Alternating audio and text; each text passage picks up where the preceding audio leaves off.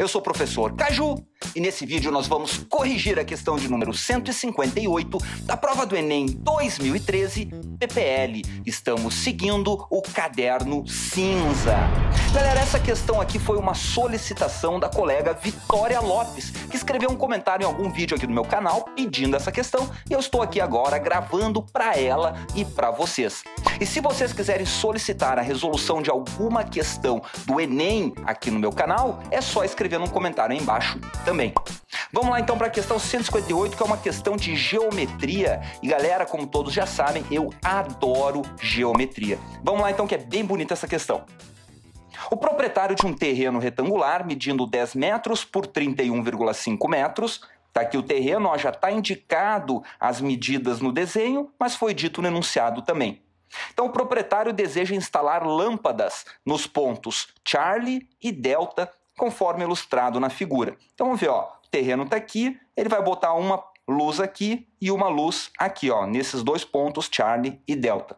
Cada lâmpada ilumina uma região circular de 5 metros de raio. Essa informação é importante, vamos sublinhar aqui. Os segmentos Alpha Charlie e Bravo Delta medem 2,5 metros. Então vamos colocar essas informações aqui no nosso desenho. Alpha Charlie, Alpha Charlie. É esse segmento aqui, 2,5 metros. E o Bravo Delta aqui, ó, Bravo Delta, 2,5 metros também. O valor em metro quadrado mais aproximado da área do terreno iluminado pelas lâmpadas é quanto? Pessoal, então a gente vai colocar essa lâmpada aqui nesse ponto e vai formar aqui um, né, um círculo de raio 5 metros, que é o círculo que essa lâmpada vai estar iluminando. Então vamos desenhar aqui mais ou menos um esboço só. Olha só, se aqui é 2,5 metros, 2,5 é metade de 5, né? Então vou fazer o seguinte, 5 metros vai ser o dobro. Vai ser até aqui e a mesma coisa aqui por outro lado. Ó. Mais ou menos isso. Agora eu desenho o círculo. E vai ser a mesma coisa desse lado, que vai dar exatamente a mesma área. Então a gente vai calcular a área de um deles aqui e multiplicar por 2, que vai dar na mesma. Então, como é que eu acho essa área que vai estar iluminando aqui? Galera, se fosse isso tudo que eu desenhei, ia ser fácil, né? Porque era só calcular a área do círculo inteiro e dividir por 2. Mas não é a área de meio círculo aqui. É só essa área que está sendo iluminada. Então fica um pouco mais difícil, porque essa área aqui não tem um nome na geometria plana. A gente estuda setor circular, estuda segmento circular, coroa circular, estuda triângulo, quadrado, mas não estuda essa área maluca aqui. Então como é que a gente faz para resolver essa área que a questão está pedindo? A gente tem que quebrar essa área em áreas conhecidas. Olha só, se eu fizer esse traço aqui, ó, partindo do centro do círculo até esse ponto aqui onde ele corta o lado do retângulo, o círculo corta o lado do retângulo, a gente vai ter duas figuras conhecidas. Olha aqui, ó, nessa parte nós teremos um setor circular, que a gente sabe calcular a área, e aqui a gente vai ter um triângulo. Somando os dois, a gente vai ter a área pedida. Então é isso que a gente vai resolver. Daí, para fazer essa resolução, eu vou refazer esse desenho dessa parte aqui Aqui para ficar mais bonitinho para a gente desenhar, né? E para quem for tirar o print no final da resolução também. Vamos fazer o desenho. Então eu fiz aqui ó, a área azul e a área vermelha, as duas divisões que a gente vai ter que calcular. Vamos começar calculando aqui o triângulo, galera, porque o triângulo eu tenho um macete bem legal para vocês que a gente aplica em várias questões do Enem e essa aqui usava esse macete. Acelera bastante o nosso cálculo. Olha só, a gente sabe que o raio desse círculo aqui é 5 metros. Então, esse traço mágico que eu fiz aqui para nos auxiliar, ele não é o raio, ó, ele vai do centro até o círculo, então ele também vale o raio. 5 metros, vou anotar aqui, ó. Agora que eu sei que esse cara é 5 metros e o triângulo vermelho é um triângulo retângulo, galera, por que, que ele é um triângulo retângulo? Porque a, a, o enunciado nos falou que o terreno é retangular e o retângulo, né, terreno retangular, tem ângulos de 90 graus aqui nas bordinhas, então esse cara aqui também vai ser 90 graus. Daí sempre, galera, que a gente olha para um triângulo que tenha a hipotenusa valendo o dobro do cateto, olha só, o 5 aqui não é o dobro de 2,5? Sempre que nós tivermos essa configuração, a gente pode fazer uma manha muito legal. Olha só, eu vou pegar esse triângulo e rebater ele para o outro lado. Olha só como é que vai ficar. Ó. Se eu vou rebater para o outro lado, aqui vai ser 2,5, para cá vai ser 2,5 também. A hipotenusa rebatendo para cá vai ficar desse jeito. Ó. Então, já que eu rebati para lá, esse cara que mede 5, aqui também mede 5. E esse cara que mede 2,5, aqui também mede 2,5. Bom, mas por que, que eu fiz isso? Galera, quanto que mede esse lado completo aqui, ó? Que vai daqui até aqui. 2,5 mais 2,5 é 5. Bom, aqui é 5, aqui é 5, aqui é 5. Nós temos um triângulo equilátero. E olha só, tudo isso que eu desenhei aqui a gente podia fazer na cabeça. Sabendo que isso aqui é um triângulo equilátero, eu já tiro várias informações importantes. Quanto vale o ângulo interno de um triângulo equilátero?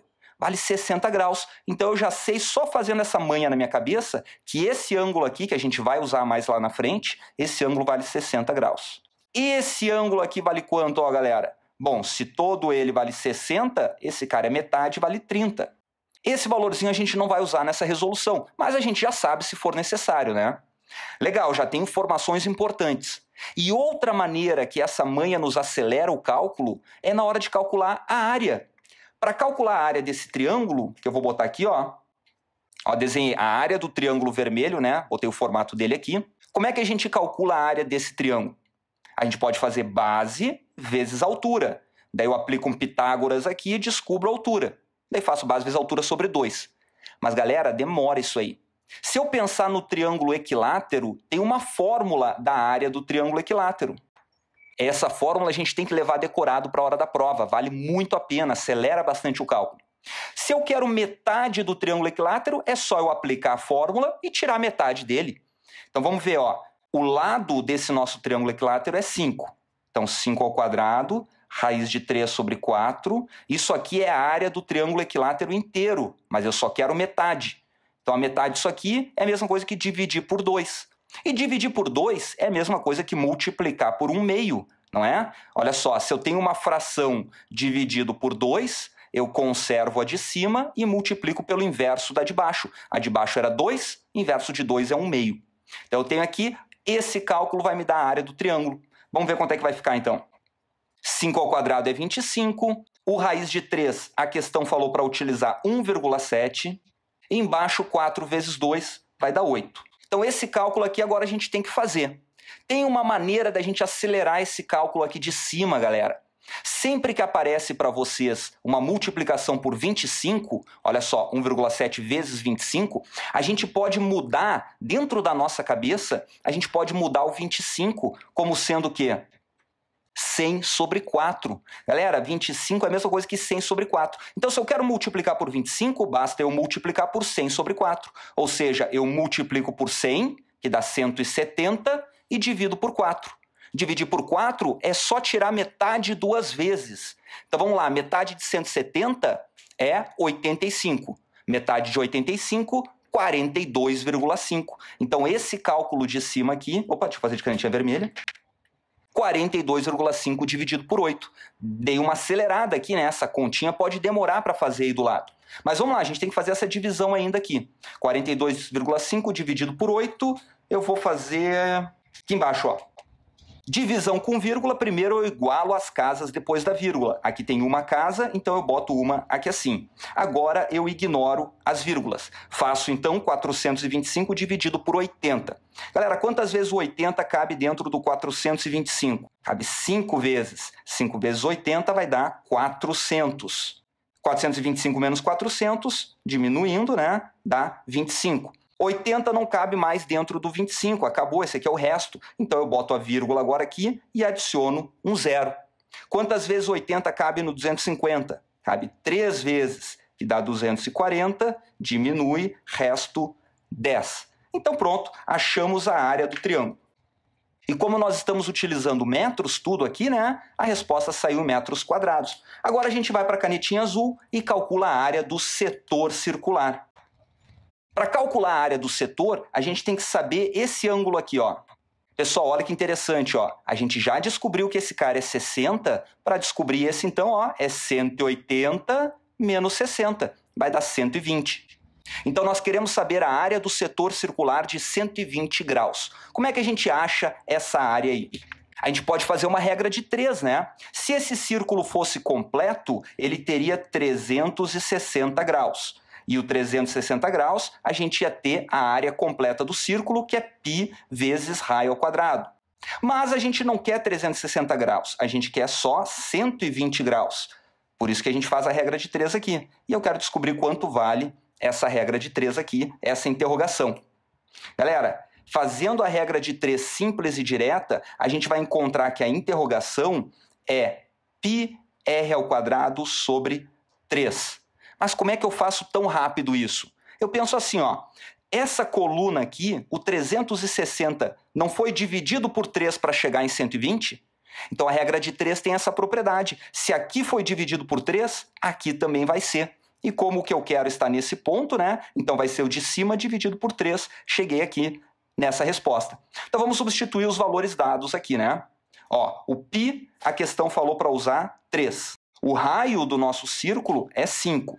Olha que bonitinho aqui. O 3 morreu com o 3. Chegamos então que a área do nosso setor circular azul é igual a 25 metros quadrados. Agora, para finalizar a questão, eu vou fazer com a canetinha preta, a gente vai calcular a área iluminada. Vou botar aqui ó, a área de luz. Então, a área iluminada é a área azul, que é 25, mais a área vermelha, que é 5,3. Só que essa soma vai me dar só a área dessa luz. E a gente tem a área da outra lâmpada também, que é igual a essa. Então eu vou pegar esse valor e multiplicar por 2. Galera, quem não multiplicou por 2, tinha a resposta aqui, ó. Tem que multiplicar por 2. Então vamos lá. Área da luz, 25 mais 5,3 vai dar 30,3 vezes 2 vai dar 60,6. E a resposta mais próxima disso está na letra delta, gabarito letra delta. Beleza, galera? Então, se vocês curtiram essa resolução, não esquece de dar o joinha aí embaixo e de compartilhar esse vídeo com a galera de vocês que esteja estudando para o Enem também. Valeu, pessoal, um grande abraço e até a próxima!